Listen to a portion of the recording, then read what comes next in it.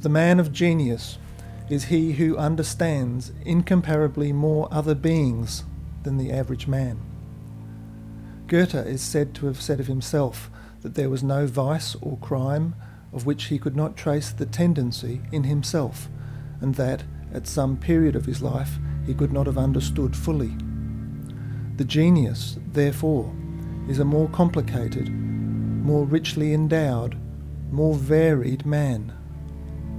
And a man is the closer to being a genius, the more men he has in his personality, and the more really and strongly he has these others within him. If comprehension of those about him only flickers in him like a poor candle, then he is unable, like the great poet, to kindle a mighty flame in his heroes, to give distinction and character to his creations.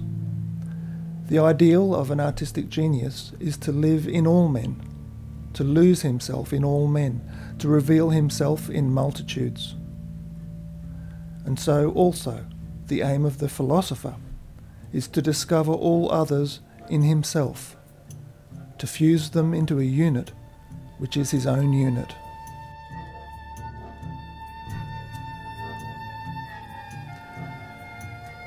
The eye of the genius, accordingly, is simply itself universal comprehension, the centre of infinite space. The great man contains the whole universe within himself. Genius is the living microcosm. He is not an intricate mosaic, a chemical combination of an infinite number of elements. He is everything. In him and through him all psychical manifestations cohere and are real experiences, not an elaborate piecework, a whole put together from parts in the fashion of science.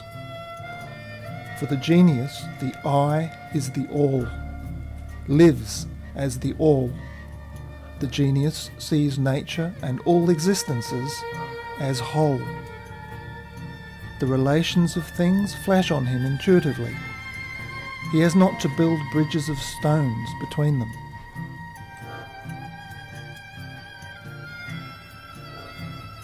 The age does not create the genius it requires.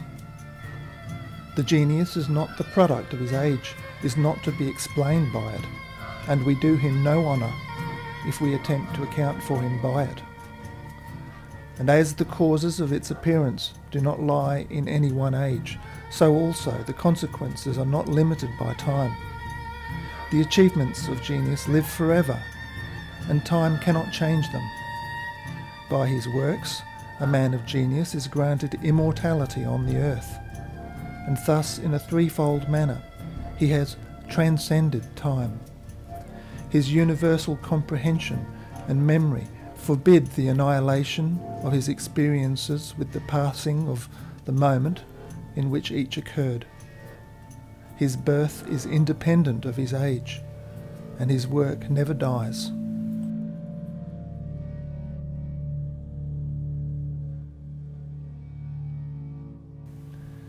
Universality is the distinguishing mark of genius. There's no such thing as a special genius, a genius for mathematics or for music or even for chess, but only a universal genius. The genius is a man who knows everything without having learned it.